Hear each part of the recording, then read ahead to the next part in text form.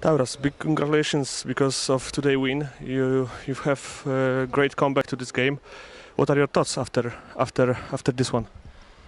You know, uh, in second half we did a really good job in defense, especially one-on-one situations, and uh, and also we we help very good uh, from uh, from uh, from side, strong side, uh, weak side. So that was the main point. Uh, that's why we win because we was minus mi- 12. Yes, minus 12. Yeah. So so this is the defense, just defense.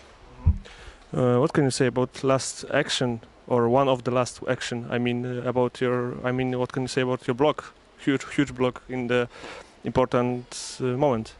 Ah, no, just good defense. I was uh, how to say. I knew it just will be blocked, so that's it. Nothing, nothing special for me. You said that you are tired after this game. We don't have a lot of time to, to rest because we've got another game uh, in three days in front of us. So, what are your plans for, for this short time to to prepare to the next opponent, which will be AZS Koszalin? You know that was emotional game today.